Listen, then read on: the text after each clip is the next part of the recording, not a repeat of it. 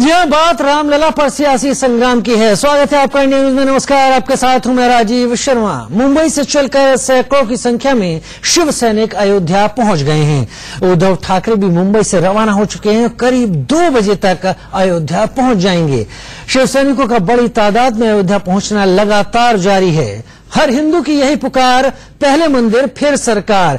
ये नारा लगाते हुए शिव सैनिक अयोध्या पहुँचे हैं। शिवाजी के जन्म स्थान शिवनेरी से मिट्टी का कलश लेकर उद्धव भी अयोध्या पहुँच रहे हैं। तस्वीरें आपके टीवी स्क्रीन पर इस वक्त। अयोध्या जंक्शन रेलवे स्टेशन पर तमाम शिव सैनिक बड़ी तादाद में महाराष्ट्र के अलग अलग जिलों से पहुँचे हैं, जो कि शिवसेना के समर्थक, शिवसेना के कार्यकर्ता हैं, और वो सब इन नारों के साथ अयोध्या पहुँचे हैं, क्योंकि उद्धव ठाकरे शिवसेना के अध्यक्ष वहाँ पहुँच रहे हैं। अयोध्या में दो दिनों का उद्धव ठाकरे का कार्यक्रम है, जिसमें वो राम मंदिर को लेकर संतों से चर्चा करेंगे। शिव सैनिकों का जमाड़ा है लाल लश्कर के साथ उद्धव ठाकरे अयोध्या पर पहुँच रहे हैं। अयोध्या मसले पर पूरी अपडेट इंडिया न्यूज़ आप तक लगातार ला रहा है। इस लगातार बढ़ती खबर पर इंडिया न्यूज़ की पैनी नज़र है। तमाम रिपोर्टर्स भी वहाँ मौजूद हैं और ये तस्वीरें जो आई हैं, ये हमारे उन रिपोर्टर्स ने भेजी हैं जो लगातार अयोध्या के इस मसले पर चल रही सियासत के बीच अयोध्या में मौजूद हैं और सब कवर करके भेज रहे हैं। देखते हैं एक रिपोर्ट शिवसेना की तैयारी बड़े जोरों शोरों से चल रही है अयोध्या में।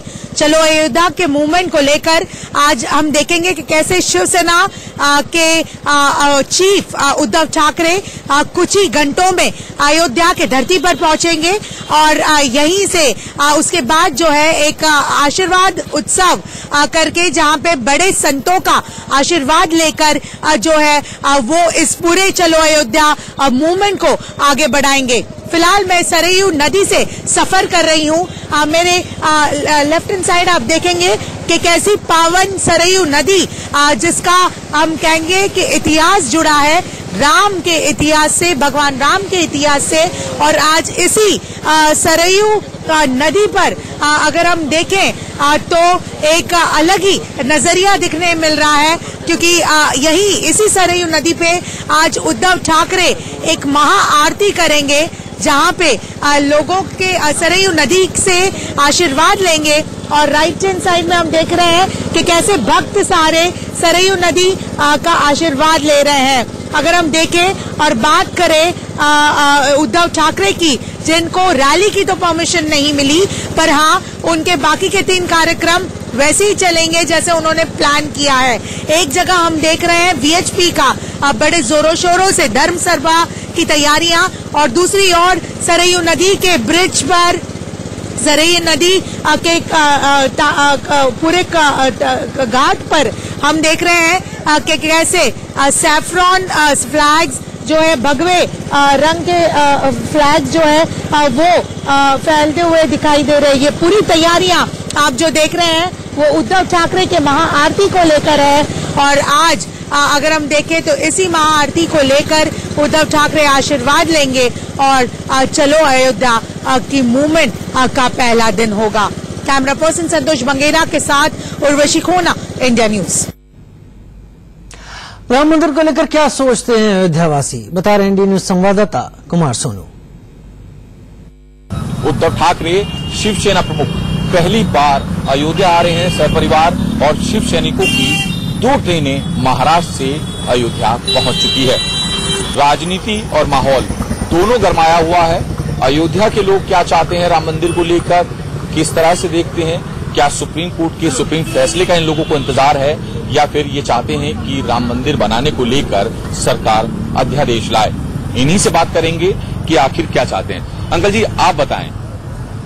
वो विवादित ढांचा जब गिरा गया, कार सेवक यहाँ आए, वो तस्वीर भी आपने देखी और उसके बाद तमाम घटनाक्रम देखे और आज भी आप उद्धव ठाकरे के इस पूरे प्रोग्राम को देखेंगे। क्या लगता है कि वाकई में राजनीति होती आ रही है राम मंदिर को लेकर या फिर राम मंदिर का निर्माण अब जल्द होने वाला है? राजनीति तो अधिक हुई, राम मंदिर के निर्माण के विषय में प्रयास नहीं किया गया, सार्थक, ये अकाट्य सत्य है। राम मंदिर बनना चाहिए हमारे अयोध्या वासियों की पूरे देश के लोगों की इच्छा है। तो ये अयोध्या के वो बुज़ुर्ग हैं जिन्होंने विवादित ढांचा गिरते हुए अपनी आँखों से देखा और अब भी यहाँ पर हैं। कुछ युवा भी हमारे साथ हैं। युवा हैं आप। नौकरी चाहिए सरकारी विकास चाहिए राम मंदिर चाहिए या राम मंदिर पे राजनीति? देखिए सबसे पहले तो ये कहना चाहूँगा कि मर्यादा पुरुषोत्तम भगवान श्री राम की नगरी में बार बार प्रभु श्री राम को बेचा गया है। हमारे प्रभु श्री राम को बेचने का कार्य जो है सियासतदानों ने किया है और आज भी कर रहे हैं। तो बिल्कुल आपने हर उम्र के तबके के व्यक्ति को सुना युवाओं को भी सुना कहीं ना कहीं नाराज़गी है कि राम मंदिर को लेकर जो सियासी पार्टियाँ हैं वो सियासत करती हैं और उस पर सियासी रोटियाँ सेकती हैं। एक ब्रेक